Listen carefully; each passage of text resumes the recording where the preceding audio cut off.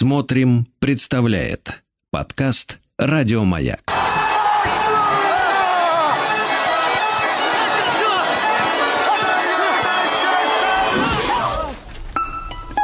Дух праздника. Какой вы, однако, лавкач, Владислав Александрович, уже изготовили э, ролик для нашего проекта «Дух праздника».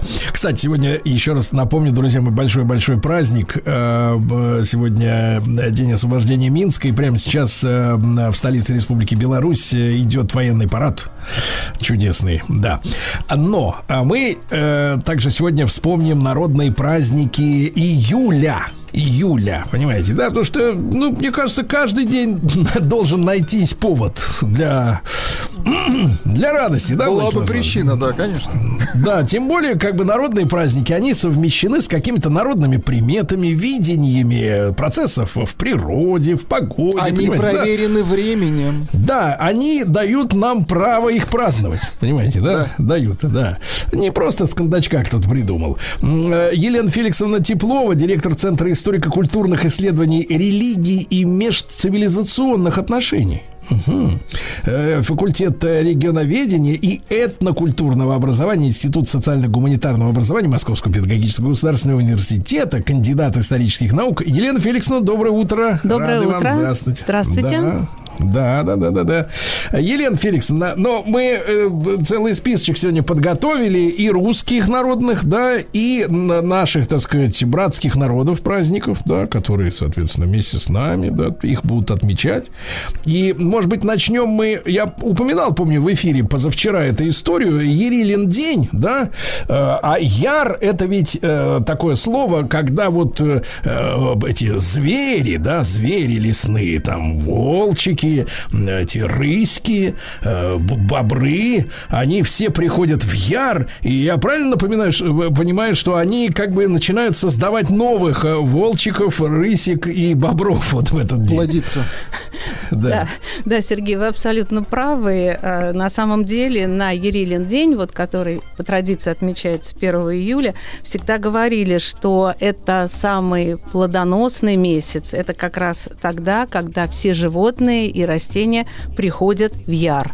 Э, как раз начинается такой активный жизненный цикл. И э, Ярила вообще это один из самых э, ну, загадочных, таинственных божеств славян, потому что, в общем, разнятся истории о том, кем он является, то ли он и воин, он и первый землепашец, ну, понятно, он и бог солнца, и, э, конечно, отношение к Кириллиному дню, особенно после с приходом христианства на Русь, сильно изменилось. Но, знаете, э, праздники июля особенно сильно демонстрируют переплетение традиционных, э, проверенных временем событий и тем, что происходило в славянских народах, которые отмечали этот день. Ну, э, если мы говорим о приметах... А вот как, да? Э, Елена Феликсовна, как надо было людям отметить, э, так сказать, э, животный яр? Ну, так сказать, как поддержать-то, грубо говоря? На селе. В лесу, которые там вот, да. Ну, э, на самом деле э, это достаточно скрытая от нас информация, потому что каждый народ по-своему э, решал вот эту э, проблему поддержки. Э, mm. Но почему? Потому, знаете, что было еще, на мой взгляд, очень интересно? Дело в том, что считалось, что в этот день Солнце медленнее идет по небу. И э, живые, считалось, могут заглянуть за край мира и увидеть вот то, что происходит там. И э, если такой смельчак находился, ему нужно было подняться на речной берег, заплести березу, и через вот эту березу посмотреть на э, мир, и он мог увидеть то, что происходит. Ну а для плодородия и развития. На Ирилин день было принято, э, ну, не только собирать, там, как известно, росу, умываться, становиться сильным и красивым, но и заново набирать матрасы. Причем матрасы набивали травой не только высушенной, но и новой. Вот приходим в яр, что называется. Угу. И вот так вот наши предки-то на таком, можно сказать, ароматерапии-то и спали, да? Вы знаете, в эту Да. ночь не спали. В эту В ночь эту ночь только- работали, да? В эту ночь В эту ночь праздновали. набивали матрас, Набивали да? матрасы, совершенно верно. И праздновали, потому что, а, ну, мы в прошлый раз с вами говорили о очень значимом для лета событии, ну и для слав- всех народов, это день а, летнего солнцестояния. И а, у- ученые, изучающие народные праздники, приходят к выводу о том, что Ирилин день был несколько смещен у некоторых именно на день солнцестояния. В, эт- в этот день, смотрите, а, что а, нужно было делать. А, Жгли костры, парни и девицы водили хороводы.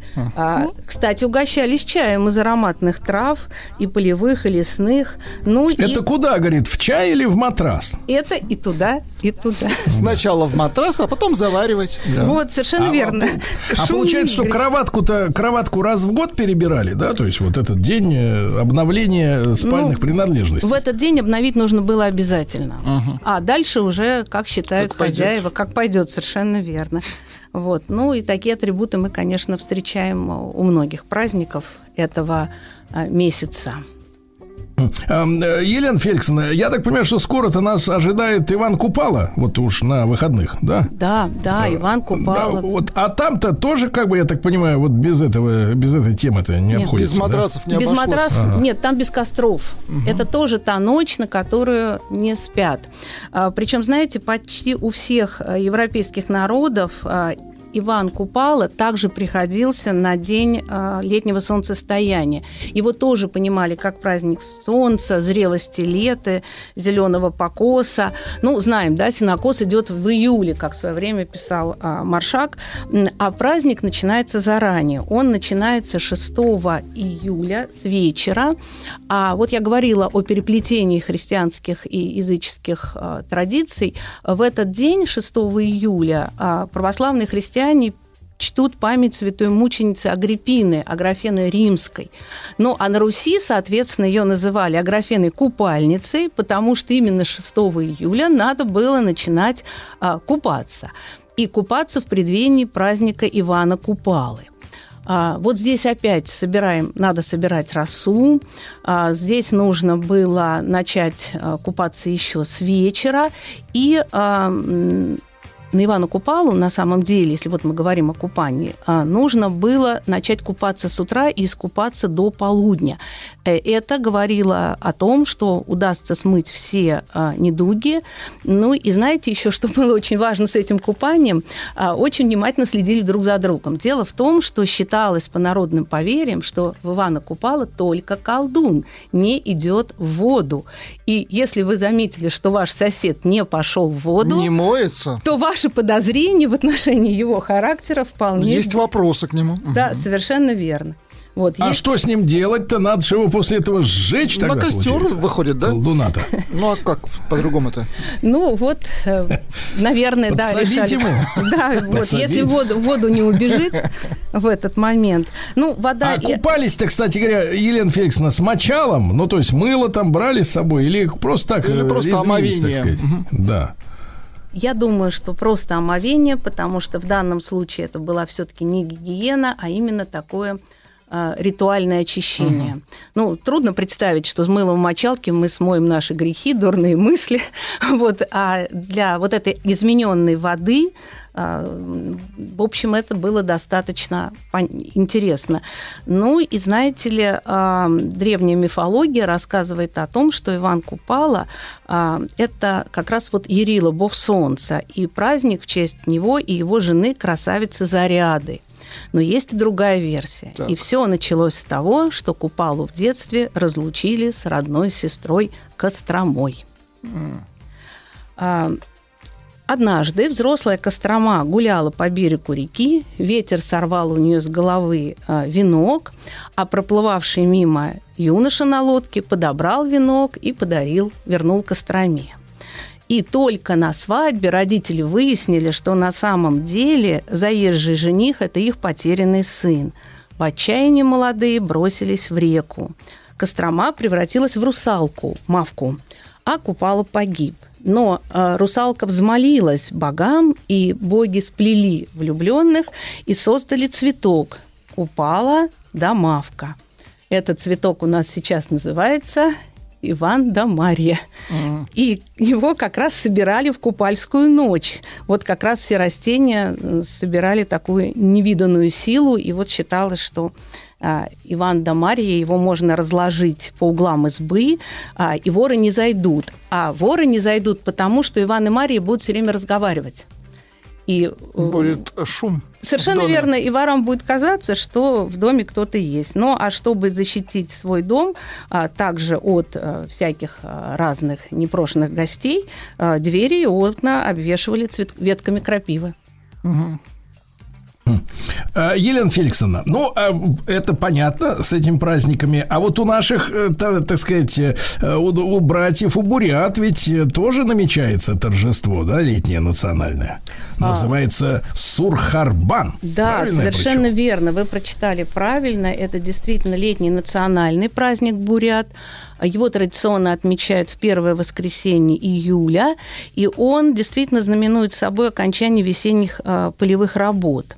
А, он имеет очень древнее происхождение, связанное с тем, что кочевые народ, э, племена бурят собирались в это время на общее собрание. И вот это собрание, этот вот слово переводится как «три игры мужей» или еще «летние игры». Три игры мужей – это, э, по сути дела, соревнования. В состязаниях принимали участие самые мужественные, самые сильные, ну, самые настоящие мужчины, самые настоящие герои. А, Причем это не просто спорт, это особые обрядовые игры. А, На самом вот э- деле традиция обрядовых игр, она встречается у разных народов, но известный всем праздник. а, Олимпийские игры, они же были посвящены богу Зевсу как э, покровителю мужской силы, поэтому здесь тоже происходило. Но три, э, три э, игры. Э, Во что же играли? Первая игра – это, конечно, стрельбище. Выбирали э, ровное место, расставляли э, такие Мишени? Мишени, да, их называли суры, это комки шерсти, э, кожей. Ну, понятно, что победитель тот, кто выбил больше мишеней. Ну и представьте себе, для э, национальной бурятской стрельбы длина лука должна быть э, 160 сантиметров. А, Второй вид а, вот этих игр – это соревнования борцов, батеров. А, У различных бурятских племен а, правила немножко отличались, но а, суть заключалась в том, что борцу надо было самому удержаться на ногах и, не нарушая правил а, борьбы, уважения противника, без вранья его положить на лопатки. А, У бурят существовал обычай, по которому один из богатых членов семьи кормил своего борца, ему шили специальную одежду для соревнований, и победитель исполнял танец орла, а в награду получал живого барана. Причем барана надо было нести на руках, чтобы подтвердить, а, что а, он сильный, он даже в этом усталом состоянии с бараном на руках предлагал э, всех желающих, э, всем желающим с собой сразиться, показав, что он не зря получил это звание. Ну и третье – это скачки М. скотовые, э, скотоводческие народы, охотники, э, скачка на 3-4 километра. Лошадей специально готовили к этому мероприятию. А, Готовили лошадей так называемые ладильщики. Это многоопытные знатоки скачек. Ну, а наездниками хулек это называлось, бывают, были подростки, которые находились рядом с ладильщиками. Ну и хороший наездник подгонял коня двумя плетками, отпустив уздечку. На финише ловили его, этого коня специальные люди. Ну и после этого произносили хвалу победителю, коню. Здорово, здорово. А у наших, так сказать, удмуртских братьев Герон Быдтон, правильно я Да, прочел? да, да, я Да. Да, правильно, это тоже летний праздник. А, Он также отмечается в конце июня, в начале июля. А, Он символизировал, э, как у всех мы уже говорили народов, это окончание полевых народ, работ. С этого момента земля считалась беременной. И храни, э, ранить ее сахой или лопатой было нельзя. Есть еще такое поверье, что бог Вёсь а, из молитвенного домашнего храма Куала уходил в луга и возвращался обратно только на Петров день. То есть, видите, вот такие традиционные народные и христианские а, события совпадали. Ну и поэтому в этом время ему молятся на улице, на луговых травах. А, сначала устраивалось общественное моление, потом жертвоприношение. Гостей на празднике угощали ритуальной кашей, которая варится на кострах. А вот напиток мы с вами в прошлый раз обсуждали, кумыс. Так. Он называется кумышка это а, национальный удмурский алкогольный напиток домашнего производства. Слабо ну, Крепкий? Крепкий. Да. Владик, ну что вы сразу Нет, он действительно крепкий. Крепкий. Он крепкий. Вы же видите, что все эти праздники на силу, на выносливость. Ну вот и смотрите, а, кумышка предлагалось пить из чаши, а пя- чашу прикрепляли к концу посоха, который держала в, го- в руках хозяйка. Прикасаться к посоху нельзя было, и к чаше тоже. Пить надо было до дна. Ну и, соответственно, помимо а, вот кумышки и каши, а, очень много выпечки, считал, что надо ходить друг к другу в гости, угощать, э, пекли самые разные открытые, закрытые пирожки. Ну и, как вы понимаете, самое известное муртское блюдо – это пельмени, которые тоже на празднике нужно да обязательно класс. было попробовать. Как-то Елена Феликсовна ловко так от, э, так сказать, от э, кумыса ушла. Отошла, да. да, закуской хорошо. Ну как же, пельмени. То закусывали крепкий алкогольный кумыс. Вот. Да, да. Кумышку. Кумышка, да-да-да, извините. Кумыс это друг, да, да. Елена Феликсовна, а у наших братьев Коми Луд, да, праздник? Ну, праздник Луд. С коми языка он переводится как э, лук. Это как раз обрядовый праздник, причем, вы знаете, его как раз отмечали э, в период, когда отмечают Ивана Купалу. И как раз происходили в основном э, у, ряд в этот период э, э, ну, конные состязания. Э, ну, сначала э, табун выгоняли на открытое место, где вытаптывали траву, а, где будет потом происходить а, мероприятие. Считалось, что лошадей надо пускать по кругу по двум причинам. Так. Первая причина – это, конечно, защита от нечистой силы, а вторая – чтобы женские сарафаны сильно росой не замочить. А, поэтому в этом празднике также был массовый хоровод, он назывался «Ворота», а, песни, игры, плясовые, спортивные состязания. Ну и на этот праздник всегда происходил хоровод невест. Девушки демонстрировали умение носить народный костюм, знание национальной культуры.